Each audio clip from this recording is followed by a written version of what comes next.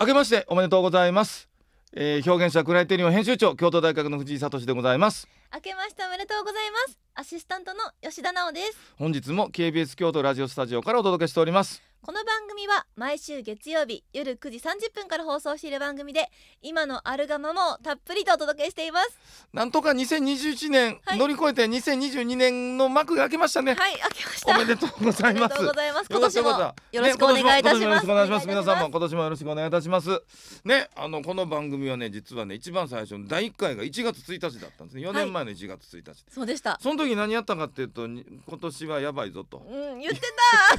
この番組の始まりかつその年の始まり、はい。日本がいかにやばいかとまあいうのをやったんですけど、たはい。今年もそれをさせていただきます。やっぱりやばいんですか？やっぱりねやばさ減ってない。え減ってないところが年々こうね年を重ねるごとにやばさがこうどんどんどんどんー、膨れ上がってるやばさ玉が広がってますよ。ゴーンとでかなえこれがボーン当たったら日本ドカーンとこ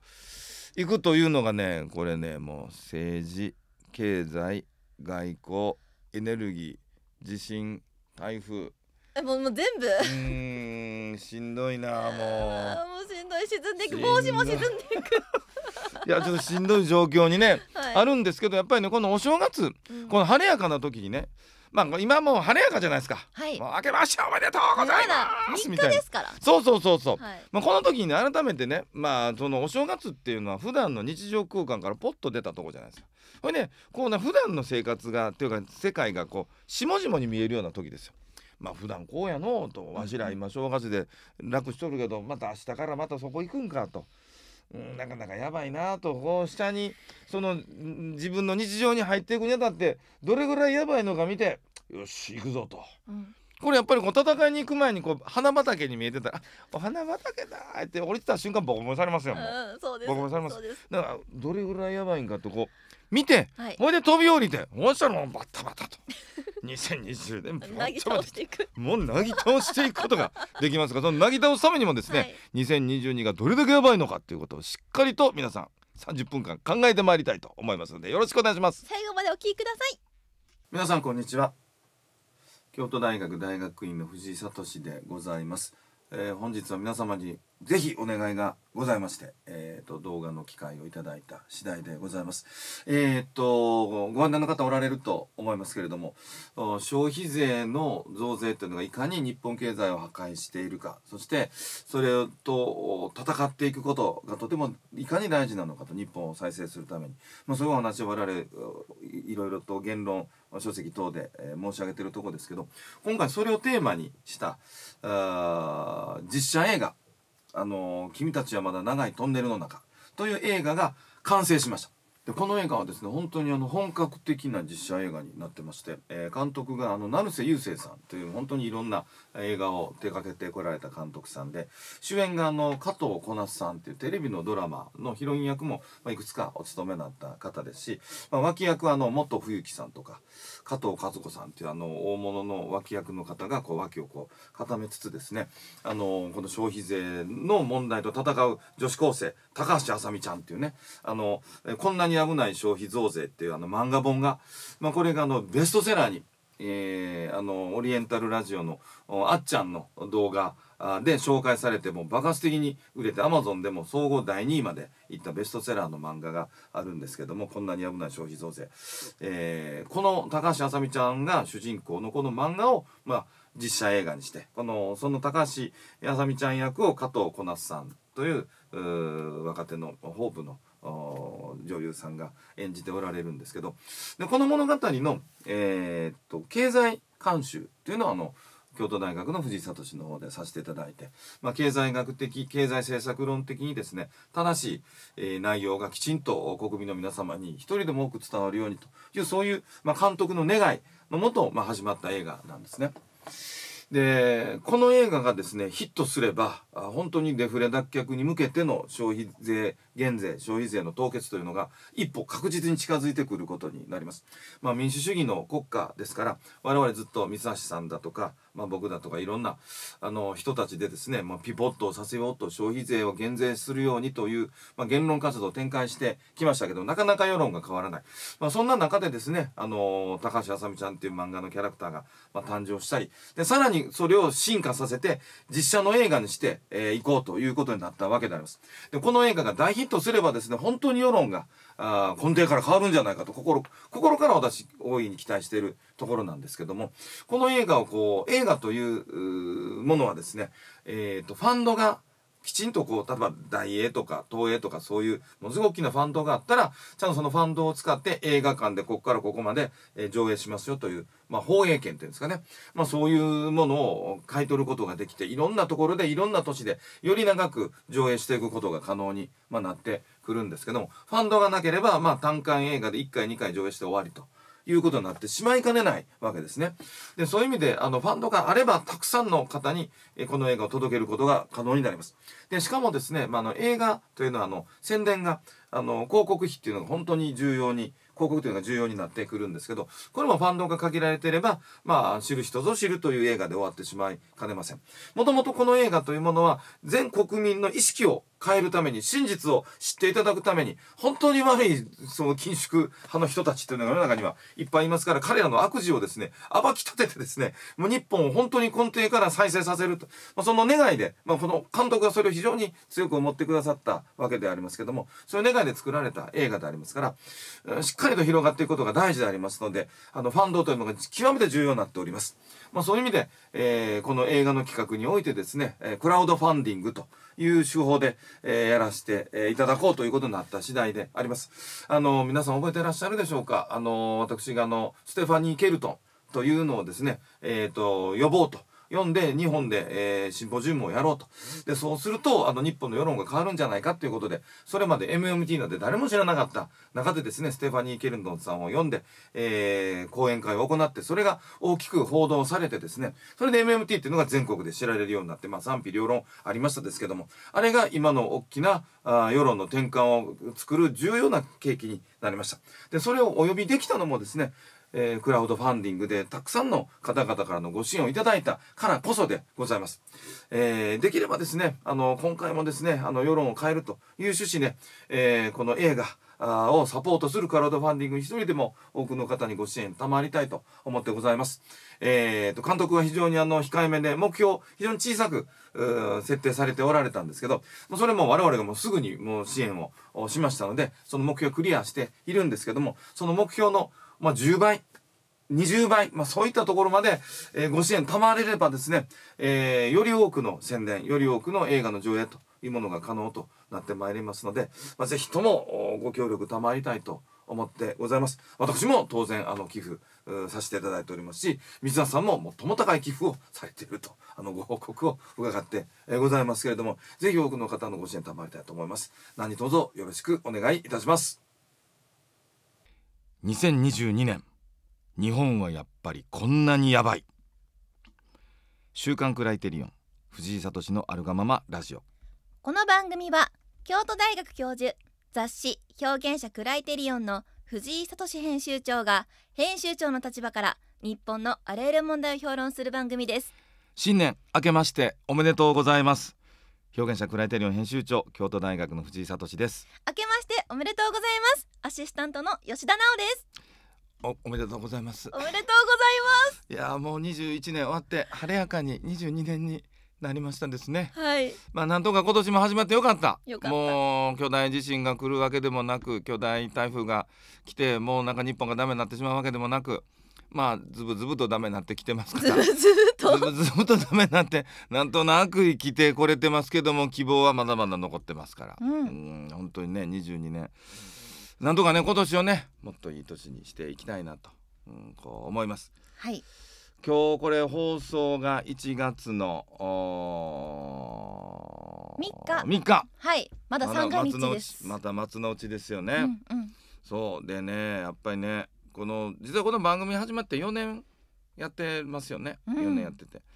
でその一番最初どうやってたかっていうとね日本やばいぞと。言ってました。あれ確かに1月1日。はい。えー今年はこんなにやばいぞっていう話をうん。まあして、で言うてること大体当たってしまってるんですけどね。デフレは続くし台風もよく来るでって言ってたら、この23年ようさん台風来て。本当に西ね日本豪雨やとかなんやとかいろいろ。はい。まあありましたけどうん。うんだからまあ晴れやかな時なんですけども、おまあ、ちょっと今年どうかなってみるとやっぱりこうこうちゃんとこう今年こうやって対応していかなあかんっていうことをこう兜の尾を締めるためにもですねうん。まあ、2022年2年やっぱり日本こんだけやばいことあるよっていうのをねしっかりねこれ考えていかなあかんなということでね今日はねあの正月早々あの2022年我々どういうところを考えていかなあかんのかということをたっぷりお話したいなと思いますのでぜひ最後まで。あのおせち食べながら お雑煮食べながら、はい。日本酒飲みながらゆっくり聞いてもらったら嬉しいなと思います。お願いします。聞けば今年の日本がよくわかる30分。午後10時までお付き合いください。さあお送りしています。週刊クライテリオン藤井聡のあるがままラジオ今日のテーマは2022年。日本はやっぱりこんなにやばい、うんそうなんですよね。またやばいからや始まる。ばいから始まってしまうんですけどもね、はい。えーまあ一番やばいの根幹は、まあ、岸田さんなんですけどまあまあそこを最後言いますからね、うん、でも岸田さんさえしっかりしたら何とでもなるんですけど日本は。あ立派な国だから。リーダーですからね。リーダーだからもう何とでもなるんですけど。まあちょっとその状況をどんなんか見ていきましょう。はい。まずはねやっぱり皆さんちょっと心配してはんのはこうオミクロンちゃんですよね。新しい株が出てきましたね、うん、そうそう。おみさんのクロンちゃんね、うん、おみさんクロンちゃんが。まあどうなるかと、はい。まあ市中感染がありましたよと、うん。いうことなんですけど、まあ、これがこう広まったらどうしようって不安があると思うんですが、まあ、実はねでもオミクロンそのものをビビってる人はね僕の周りでは少なくともあんまりいないですね。だって毒性めちゃ低いですから。あのーイギリスのデータを見てるとねはいあの死者数は一番のピークの頃の10分の1ぐらいなんですよ。あそうなんですね、でも新規感染者数は2倍ぐらいあるんですよ。あじゃあ感染のまあ力は強い強いんだけど感染したから言うてこう重篤な状況になるってあんまないんですよね。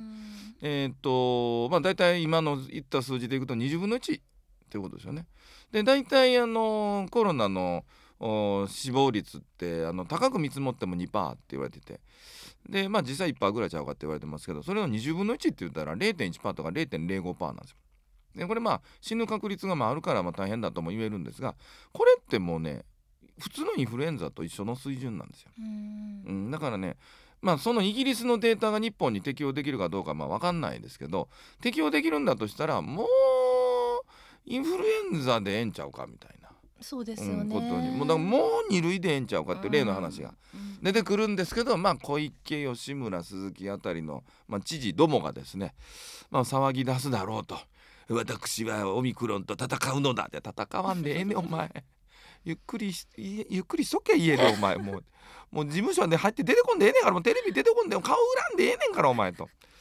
まあ、いうのがまあ最初のやばさですね。はいでまあ自粛しろだとか経済止めろだとかせっかくみんなね新年会忘年会ちょろちょろっとこうして、もううちも大学でも学生入れた大きなものはできないですけどまあその仲いい先生と数人で晩ご飯食べに行ったりとかまあまあそれちっちゃなうん。45人ぐらいのまあ34人ぐらいのねうん、そういう夕食とかできるようになってんのにそれがまたできへんようになるという意味で、まあ、やばいなと、うん、いうのがまあ一つですね。はいでまあまあこれだけじゃなくてですね、まあ、これも去年もお話ししましたけどもやっぱり日本の成長経済成長。大事です。うん。これね経済成長さえすりゃなどでも日本なるんですけどこれ世界最低の成長率です。ううん。ん、これ日本だけデフレーション。すなわち物価が下落経済が縮小してて。このコロナの状況の中でも日本以外はですねみんなねちゃんと経済ね膨張していってるんですよ。成長してるんですそうよね。そうそうそうあの一昨年はちょっとしんどかったんですけど去年からこう反転 V 字構成でね、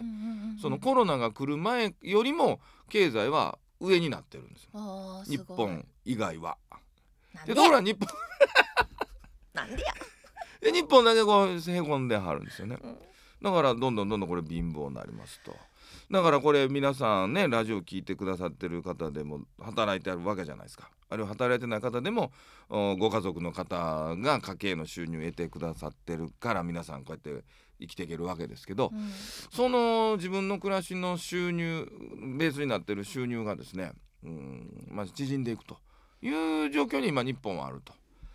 いうことですからまあこれ縮んでいくってことはだから2021よりも2022の方が悪くなると。貧乏になるってことそうですか？そうそうそうそう、えーそういうことなんですよ。でこれねで、はい。なんでよそが成長してて日本だけ衰退してるかっていうと、うん。政府がケチやからです日本だけ。ちゃんとお金を使ってほしいですそう。ね、まあ、一番分かりやすいところ行くとねうん。トランプバイデン2人合わせて900兆円使ってるのに日本は30兆円しか使ってないと。もう全然違う。隣の子は800円とか900円のお小遣いあんのに俺30円かみたいな。何も買えない。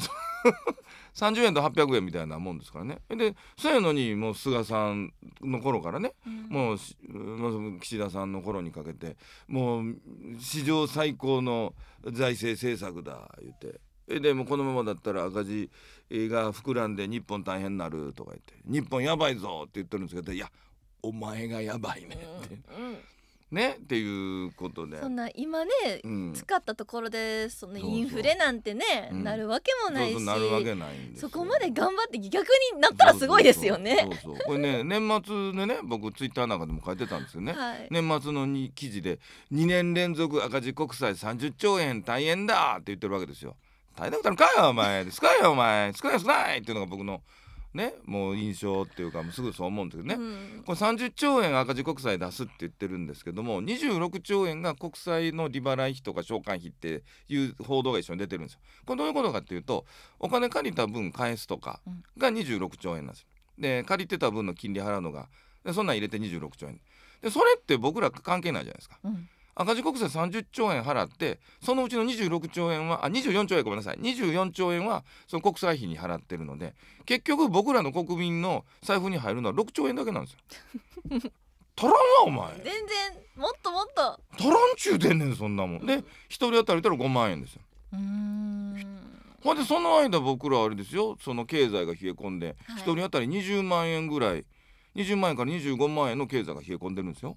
ほんで5万円しか配られへんってどういうことやって。それもうへこむわだだからへこんでるんですよ。うんということで、まあ、成長してないっていうのが、まあ、日本のやばさだけどそのやばさを導いてるのが岸田内閣のケチっぷりだと、まあ、いうことにこう、まあ、なってるわけですよ。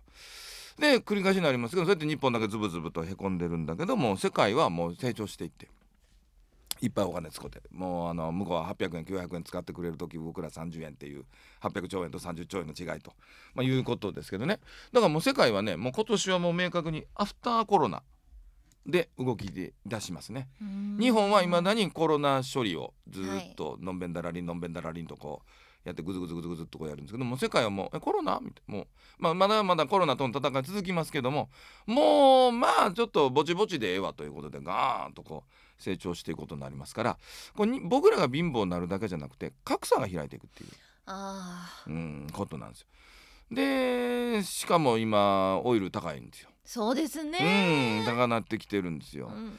でこのオイルが高いっちゅうのもあってうん僕ら貧乏になってんのにうんオイルだけ高いからもううん踏んだり蹴ったりですよだから我々はますますこれあのデフレーションの上にあのオイルが高くなってインフレーションが重なるっていうわけのわからんことになってこれをねスタグフレーションって言ったりね。スタグフレーション？うん、あとスクリューフレーションっていうねもうデフレよりもさらにしんどい。次のあの進化系のもうピカチュウからさらにこうライチュウみたいなね。そのライチュウ的不況になって進化しなくていいですそんな。成長の方に進化してください。もうピチュウぐらいにしたいところがもうもうピカチュウがもうライチュウぐらいでガーなっとるんですよもう最悪もう最 最悪なってるでそうなるそんだけ格差広がってくるとねこれは中国もの買ってくわけですよ。あーようさん変わりますわ土地とかあそうそう京都の街中でもねいろいろ街が買われて一角がチャイナタウンになってるんですよもう。そうなんですね。ででこれそろそろまあ今年ぐらいからインバウンド入れを変えてどうせもう財務省お金出さんから経済対策言ったら中国人金持ち中国人にお金落としてもらおうとインバウンドの取り込み言うて。インバウンドの取り込み違うそれ単にこびとるだけやないかお前。ってもうもう貧乏くさい根性根性なしのね。これはもう政治家もそれ言うとるし財界のクズみたいな人らもねインバウンドを取り込めばいいんだよとか。ほかお前のがばっかりあってね。うんそれでこういっぱいこう買収されていくと正月からなかなかしんどい。重たいですね。しんどいこれ話、うん。でね。でさらにこれその中国さん。これね怖いのがね。オリンピックありますやん。はい。でオリンピックまではねやっぱりちょっとみんなと仲良くしたいからねおとなしくしてはるんですよ今、あうん、まだまあ、うんまあ外交的ボイコットやなんやかんや言うてますけどね。それはもう日本はもう中途半端でもうフラフラフラフラしてるからどっちやねんお前みたいな岸田さんどどもうどないやねんお前みたいな感じですけど、まあ、だから中国にしたら「いや日本来てくれよお前来るよなお前裏切らへんよな俺ちゃんと応援しちゃってんから東京の時さ」と。で「うんそうっすね」って言うとるわけですよ。ー岸田もうちょっと弱っちい岸田さんね。でまあまあ五輪まではちょっとまあ優しい顔してるわけですよ。でもう終わったらもう「ああ終わったわ」ってパーンもうあのミッキーマウスの着ぐりパーン取ってタバコカーもうロングピースの濃いやつプワーッと取るんですよ。怖い。さあこれから行くぞお前。もうこれでミッキーさん悪いやぞと。こうなってそうなったらもう台湾ですわ。あー台湾問題ね。台湾ですわもう台湾どうなるか。わからんっちゅうのがねこれねみんな言うてますからね、まあうん。絶対そうなるとは言わないけどそのリスクがぐんと上がってほんまに来よるかもしれない。と。それで台湾行く前にその周辺のちっちゃい島から攻めようっちゅうことで尖閣ですわね尖閣ですわ。でもう今日本戦うようなレベルにもないんでねもうケチな政治がずっと続いてきてるから。ということでね今年はお不況でダメで外国伸びててもう僕らの不況がそ来中ぐらいに成長してる中尖閣に中国の方がこう占領しに来ると台湾有事で、もうやばい尽くしですね。いやーもう大変ですよ。ね。ちょっとなんとかしましょう。何とかしてほしい、うん。いいでもねこれしんどいんですけどこれ岸田さんがねいやこれでもういやプライマリーバランスはやめだと。うん。なんかある日パッと来て「あそうや俺今まで何しててんあそういや藤井さんが消費税減税したね」って言ってたから「あ減税しよう」とかね。いやもうそうなってほしい減税しようって思ってくれてバーン消費税減税したらドーン経済成長して、うん。今言ったことがさーっとなくなっていくんですよ。だからね2021年それはダメだったんだけど2022年はね僕はね今年またねやっぱりねまた消費税を下げてうん。うん。まあ2022は選挙が参議院だけだからなかなか下げるというところは難しいかもしれませんけどこれ PB をこう撤廃する方向にね持ってって消費税を減税する方向に持っていくためにもねやっぱり参議院選挙が肝だと思いますよ。僕はやっぱり与党に減税だとかそれから支出拡大だとかっていう公約を出させるように働きかけますしあかんかったら野党がそれ言いますからうん。野党に買ってもらったらいいと。うんまあ、どどっちでもいいんですよ。日本を救ってくれると与党でも野党でも。そういうねやっぱり、まあ、参議院だからこの決定打にはならないっていうところはあるんですけどこれねじれたりとかしたらものすごい政局が動いてきますからやっぱ2022年はねこの V 字回復のね、えー元年に、えーできたらいいなという願いを込めましてジョン・レノンの「スターティング・オーバー先生のあの対談？うん。でももっとちゃんとお金を使うべきみたいな、うん。ね話してはっねたんやそうそう言うから、てんのよね。ねそ言うてんのの原点をちゃんと思い出して。そうそうそうそうそうちゃんとね僕には合わせて言うとるでしょ、うん。お金使うって。うん。なんか僕らやっぱりバンドやってるとそのビートルズなんてクソくらいっていう感じがね。まあそんなすもう標準的な商業ロックやっててもしょうがないやろっていうのがまあ僕らの世代のねはい。こう、まあ、気分だったんですけどジョン・レノンはねやっぱねポール・マッカートニーと違ってねうーんなんかこっち側な感じがするんですよ。こっち側なんですよなんていうかね。大学の時でコピーとかもやったりね、はい。ジョン・レノンのやつちょろっとやったりとかもしましたうんですからね。うんうんうん。なんなのかなやっぱりちょっとちょっと違うんですよね。うんポール・マッカートニーとはかあれですね、うん。言葉で表せないけどこう感じるものうがん。あるっていう感じですか、そうそうなんですよ。うん。なんかねなんやろうな。うんこっち側って感じがするんですようん。ね大体人間にはこっち側と向こう側の2種類しかないんですよ。僕はねずっと昔からそう思ってたし今でもその気持ちはどんどん強くなっていますけどね。うん。ああこいつあっち側やなとかね。この人はこっち側やなとか、はいはい。この人どっちかなみたいな。ねっちはねこっち。こっち側。こっち側でね僕この曲聴いてあこいつマジでこっち側やと思いましたよ。おおもうこれねもう心があるんですよ。もうすっごいいい曲なんですよこれ。もうねもう泣きましたもん僕これ。ああそうです。聞いた時ですか？先月改めて聞いてあじーっと見てて。そうなんや。さえばしょこれいやもうぐらいねもうこっち側の人なんです。今年の一曲目はジョン・レノンでスターティングオーバーお届けしました、これ「スターリングオーバー」っていうのはねこれこう再出発っていう、まあ、意味なんですよ。うん。だからさっき言ったその日本の再出発が今まさに必要じゃないですか。ずーっとデフレが続いてきて本当に再出発して無事回復をしてもらいたいと、はい。まあ、2022はねその無事回復が始まるたっていうのは実は2022からだったなというような年にね、うん僕はねしたいなと思い思うんですよね。で僕は毎年そういうふうに思ってますけれどもそれは毎年そう思わないとその無事回復なんてできないですからね。でその、まあ、流れをこう考えたいなっていう時にちょうどこうあこの曲かけようと、まあ、思ったんですけどね、これはねジョン・レノンがね1976年から5年間音楽活動をまあ休止してたんですよ。うんででその間その主婦として、えーまあ、子供を育ててたわけですよ。でで1980年にもう一回こう再デビューをするっていう時にこう「スターティングオーバー」っていうのをこう始めてでこれは要するにねあの小野陽子さんとの共作アルバム「ダブルファンタジー」っていうのでまあ再出発をしてこれ小野陽子さんのことを歌ってるんですよね。本当にね歌詞がね素敵でね「Our life together is so uh, precious together」だからもう僕らの人生っていうのは本当に貴重な大切なもんだと。We have grown, we have grown まあ僕たちは育ったと。Although our love is still special まあ僕たちの愛っていうのはまだスペシャルなものだけれども Oh, let's take our chance and fly away somewhere alone だから二人で飛び立とうぜっっていうその自分の人生のことをこれ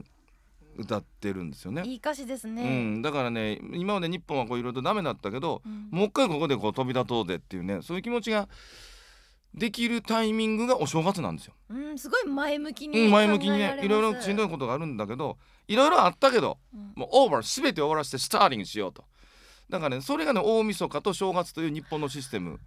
にまさにスターリングオーバーのためにこの正月三が日っていうのがあってね。でねもうこれは僕ねほんと素敵な歌詞だなと思うのはね「When I see you darling I, it's like we both are falling in love again」だから僕は君を見るたびにまるで再び恋に落ちてしまったような気分になるんだと。すごいですよ。あもうちょっと涙腺緩みますよこれ。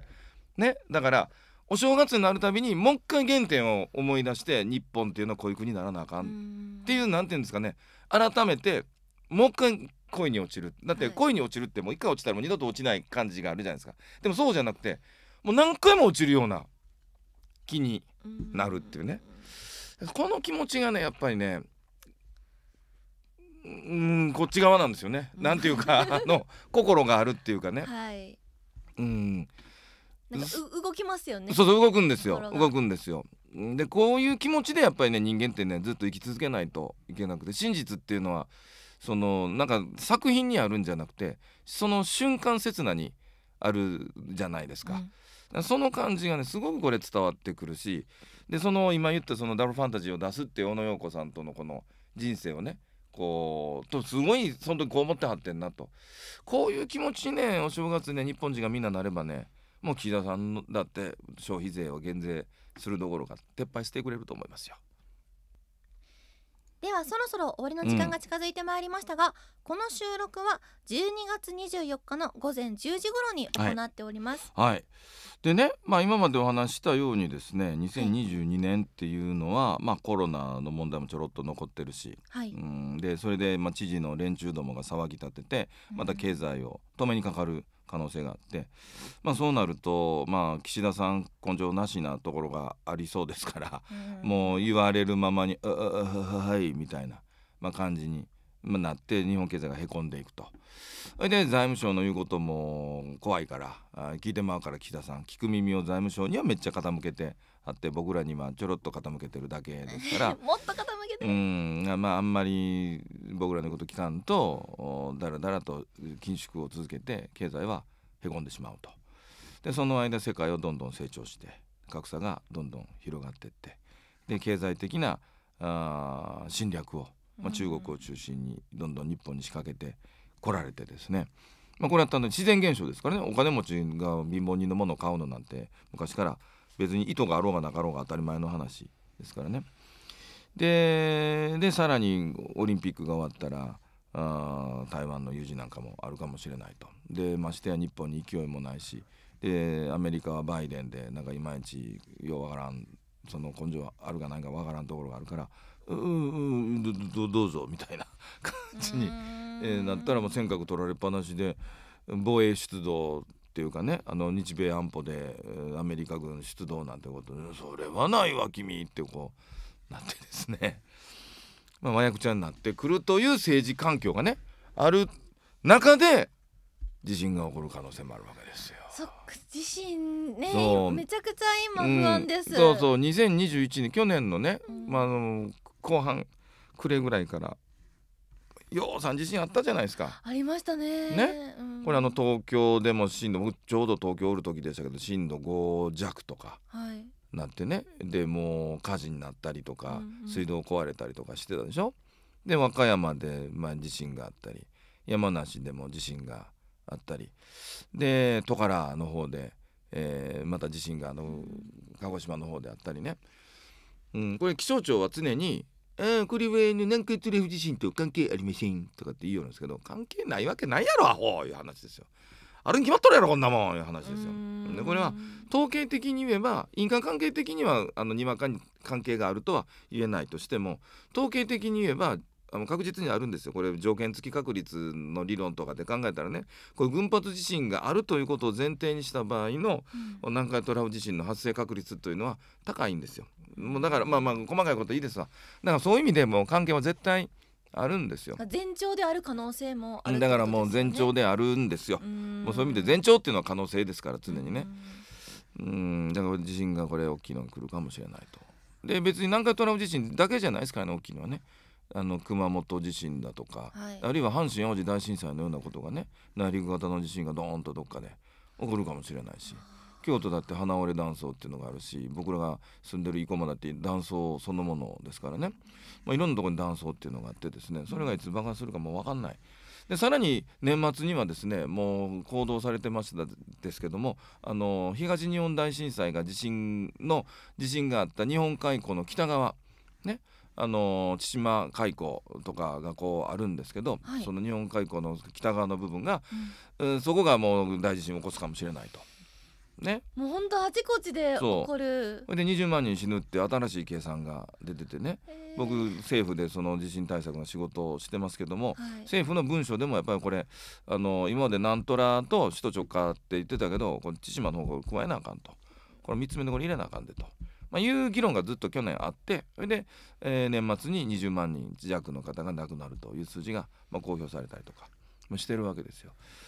まあ、これだけでも大変なんですけども、はい。もう台風だってでっかいのはね去年はちょっとマシだったですけどうん。それでももうたくさんの方が去年も亡くなったしね。はい。その前だったら台風19号台風21号西日本豪雨北九州豪雨とか熊本豪雨とか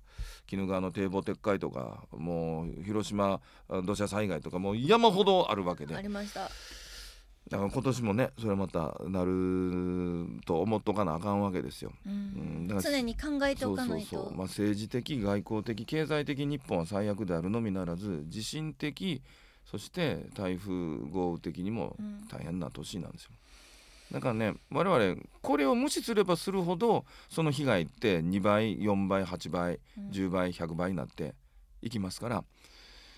この危機をちゃんとお正月に改めて認識をしてその上でジョン・レノンのようにスターリングオーバー、うん。新たな気持ちでスターリングオーバーをね、はい。するっていうのが僕は大事じゃないかなとね思います。皆さんもぜひねはい。今年のことを1年の計ですからもう正月っていうのはしっかり考えてでどう対応していくかっていうお気持ちのまま明日のお新春あ挨拶会とか。4日から仕事始めですから。うちの大学でも新春挨拶会が明日お昼からありますけどもそれに臨みたいと思いますから。ぜひ皆さんも新たな気持ちで2022をおお迎ええー進めていってもらいたいと思います。じゃあねもう気持ち新しく、はい。新しい出発をするためにも、表現者クライテリオンの最新号、これね通巻100号目ですからぜひこちらを手に取っていただきまして、はい。はい。えー読んでいただきたいと思います、ホームページでは1割引きお得な定期購読もご利用いただけますまた番組では藤井編集長への質問やご意見お待ちしております。メールアドレスは藤井アットマーク KBS ドット京都です。よろしくお願いいたします。それでは編集長、はい。今夜もありがとうございまはいした、ありがとうございました。それではまた来週月曜午後9時半まで。さようなら。なぜ日本はコロナで苦しむ国民を救わないのか。なぜ日本では自国を破壊する政策ばかり行われるのか。なぜ先進国の中で唯一成長していないのか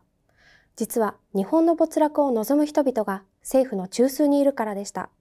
そのような内容を解説した書籍が日本の没落を望む7人の反日主義者です。こちらの書籍は書店では購入できません。こちらの QR コードまたは概要欄からお買い求めください。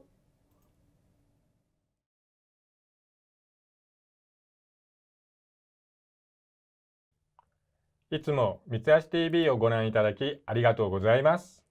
ぜひ高評価とチャンネル登録もお願いいたします。そして概要欄にははいさらなるお得な情報があるので、そちらもぜひチェックしてみてくださいね。